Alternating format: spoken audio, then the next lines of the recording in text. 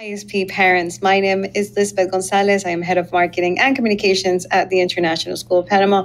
And today I just want to send a couple of reminders to you following up on both our virtual and on campus workshops about communication channels.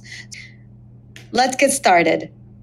This year, we're using unified language for you to know exactly what you're getting even before you open a message. So if you receive a message that says action, that is a time sensitive response. So you need to get in there, you need to check what it is. It's very likely something in the lines of a field trip or a bake sale. It is something that is time sensitive in general.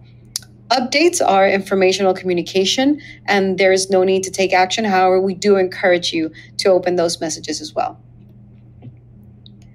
Let's take a quick overview on what's in SEQTA.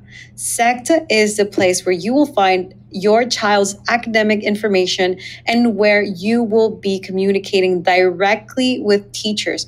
Please make sure to keep this at the top of your mind. It's very likely that at this point, if you have emailed a teacher directly, that you have received a message saying, "Hey, go to SEQTA and read the message that I've that I've sent you." It's right in the app. So we are streamlining that communication to make sure that we're minimizing the amount of emails you're getting in your inbox. And in SEQTA, you will find your calendar, um, information, and portals of athletics and visual and performing arts, the cafeteria menu, important contacts, report cards, and the ISP way.